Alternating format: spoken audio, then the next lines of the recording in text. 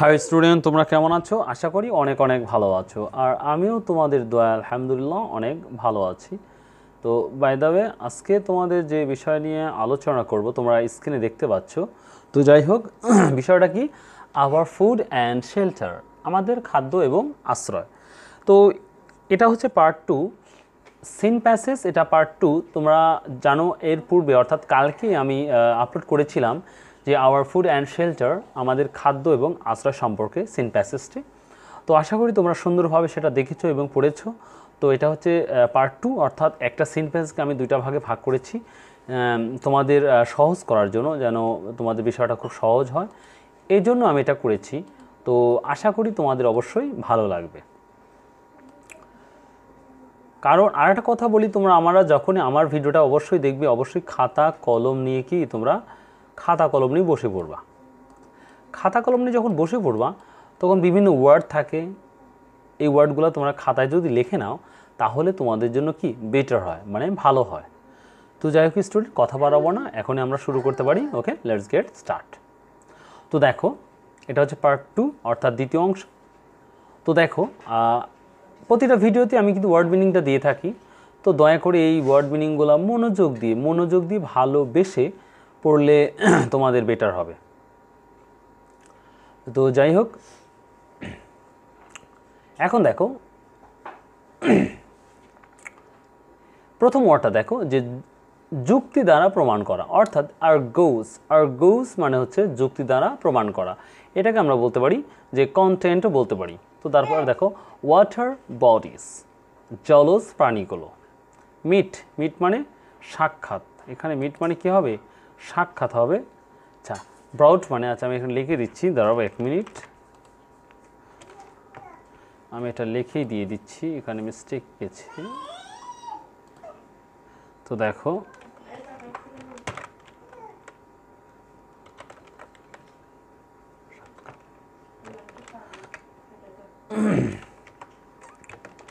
তো দেখো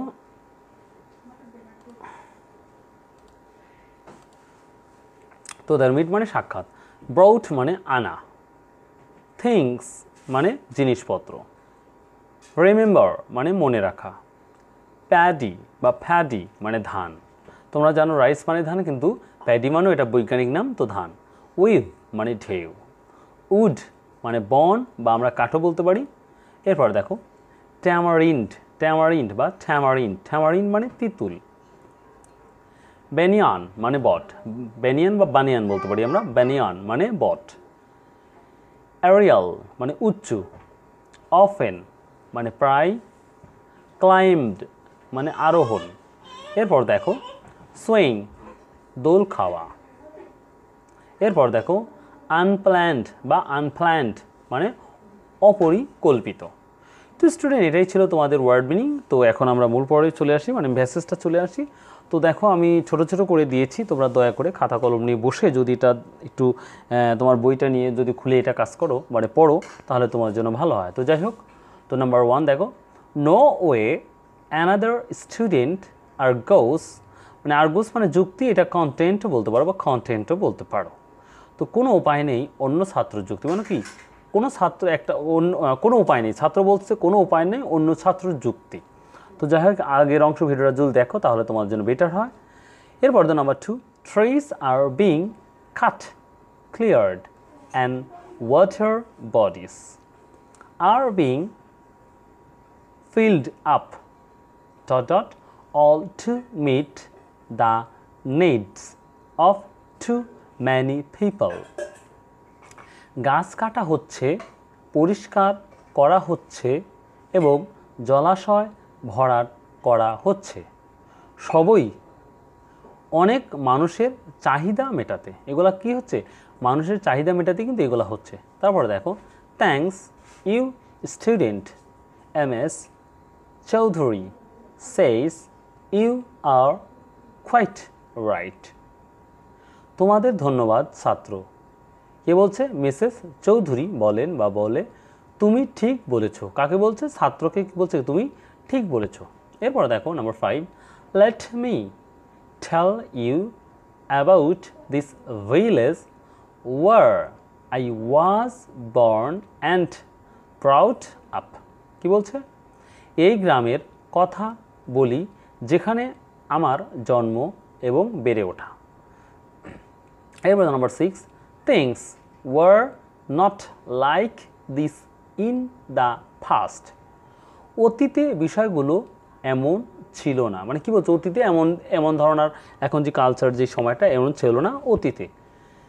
তো নাম্বার সেভেনটা দেখো। আই রিমেম্বার আমার যতটুকু মনে পড়ে বা ছোটোবেলার কথা যে মনে পড়ে as a child the village was so beautiful কি বলছে? ছোটোবেলায় মনে পড়ে গ্রামটা এত সুন্দর ছিল বা অনেক সুন্দর ছিল। Number eight the green paddy paddy মানে ধান, এটা বৈজ্ঞানিক নাম, তোমরা রাইসও বলতে পারো। তো দেখো the green paddy fields and yellow mustard fields seemed to be unending সবুজ ধান, ক্ষেত আর হলুদ সরিষার ক্ষেত যেন অন্তহীন। কি ছিল? অন্তহীন। খুব সুন্দর দেখাচ্ছিল। তো কি বলছে দেখো?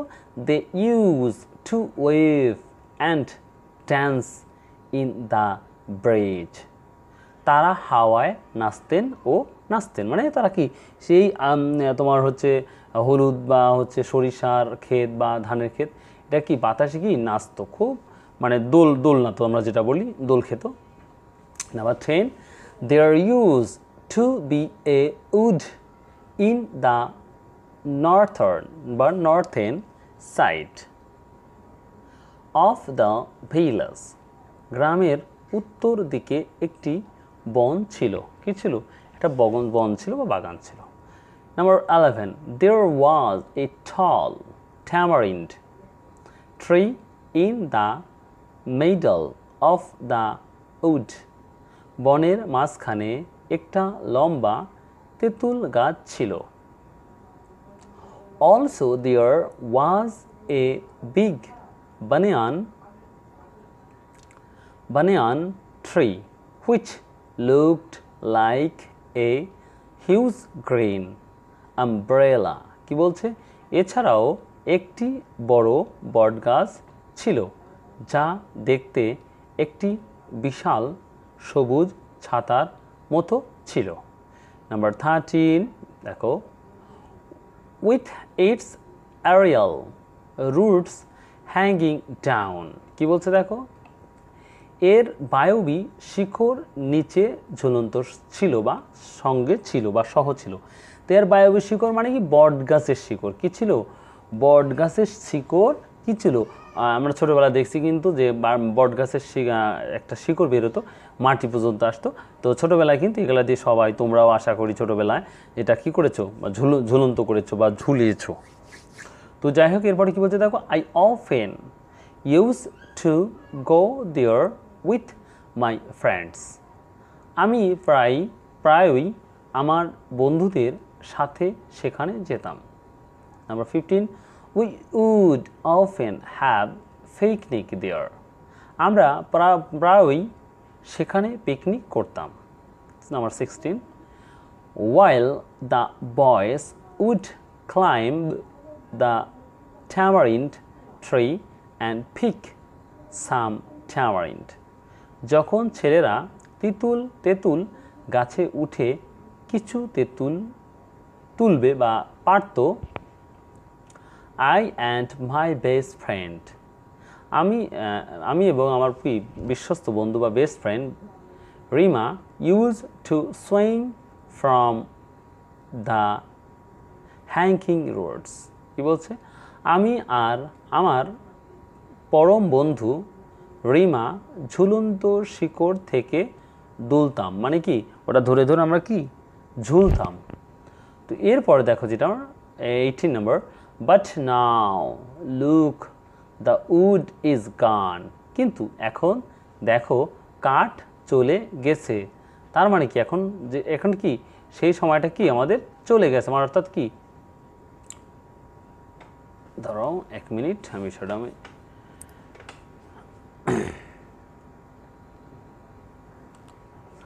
তো দেখো যে বিষয়টা একটু মিস্টেক হয়েছিল, একটু ওয়েট করো প্লিজ তো দেখো but now look the wood is gone কি বলছে? কিন্তু এখন দেখো বন্টিয়ার নেই। কি নেই? বন্টিয়ার নেই। তো এবার দেখো আমার সর্বশেষ লাইনটা বা শেষ সেন্টেন্সটি the beauty of the crop fields is spoiled by the unplanned houses build here and there কি বলছে? এখানে ওখানে অপরিকল্পিত ঘরবাড়ি তৈরি করে ফসলের মাঠের সৌন্দর্য নষ্ট হচ্ছে। তো স্টুডেন্ট আজকে তোমাদের জন্য জাস্ট কি? এই প্যাসেজটি ছিল, অর্থাৎ আওয়ার ফুড অ্যান্ড শেল্টারের শেষ অংশটা ছিল, যে পার্ট টু তো আশা করি যারা পার্ট ওয়ান দেখেছ, তো আশা করি তারা দ্বিতীয় অংশটা সুন্দর করে খাতায় লেখে অথবা তোমার বই আছে, বইটা, বইয়ের বইটা কি সামনে নিয়ে সুন্দর করে পড়ার প্র্যাকটিস করবা। তাহলে দেখা যাবে কি, আর দেখো ছোট ছোট করে আমি সেন্টেন্সভাবে মেক করেছি। তো আশা করি তোমরা যদি একটু ফলো করো এবং দেখো, তো আমি নিঃসন্দেহে বলতে পারি তোমাদের কি, দ্বিতীয়বার পড়তে হবে না অটোমেটিকলি হয়ে যাবে। তো স্টুডেন্ট অবশ্যই যদি ভিডিওটা অবশ্যই ভালো লাগে, যদি ভালো লাগে, তাহলে অবশ্যই like share and comment and if you don't like this video যদি কোনো কারণবশত ভিডিওটা না ভালো লাগে, তো দেখতে থাকো অটোমেটিকলি কোনো কোনো এক সময় ইনশাল্লাহ তোমার ভালো লেগে যাবে। ঠিক আছে? আর একটাই কথা বলি, তোমাদের সবসময় বলে থাকি যে যত তুমি ট্রাই করবা, চেষ্টা করবা, ততই ভালো কিছু শিখবা। তো জন্য বলছি, প্রতিটা প্যাসেজ প্রতিটা বিষয় ভালো করে দেখো প্র্যাকটিস করো ভকেবুলারি মুখস্থ করো ইনশাল্লাহ সফলতা কি দ্রুত চলে আসবে ওকে অল দ্য বেস্ট